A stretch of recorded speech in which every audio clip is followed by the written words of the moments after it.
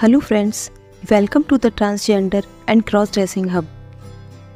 Today we will meet a very beautiful and talented trans girl.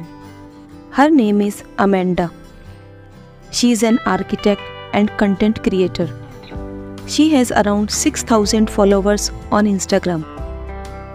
Amanda was born a boy, but she always felt she was a girl.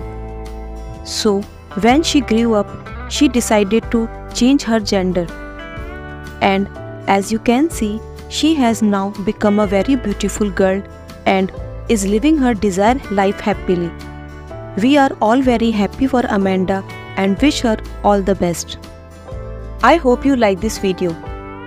Thank you for your love and support.